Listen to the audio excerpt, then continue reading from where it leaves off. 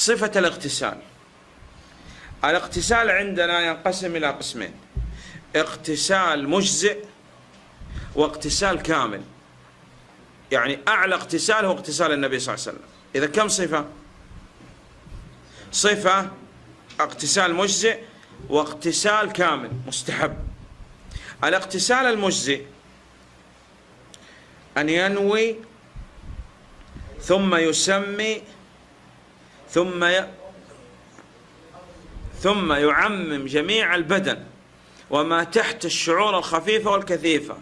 يخلل ويدخل الماء إلى أصل البشرة مع المضمضة والاستنشاق. هذا اغتسال مجزئ. ينوي يسمي يعمم جميع البدن وما تحت الشعور الخفيفة والكثيفة مع المضمضة والاستنشاق. مفهوم؟ نعم. الأخ هذا جاء عند الفرات قال بسم الله. وغطش وخرج. تمضمض واستنشق. أي نعم. وعمم جميع البدن وما تحت الشعور الخفيفة والكثيفة. هذا نوى. لكن هذا نزل وخرج. نويت الاغتسال قال لا ما لم انوي فهذا هل يتوضأ ب يتوضأ ب هل يصلي بهذا الدخول في الفرات؟ نعم. هل هذا يدخل؟ لا. طيب واحد ينوي ثم يسمي ثم يعمم جميع البدن وما تحت الشعر الخفيفة الكثيفة مع المضمضة والاستنشاق مجزئ. اغتسال مستحب أكمل اغتسال اغتسال النبي صلى الله عليه وسلم.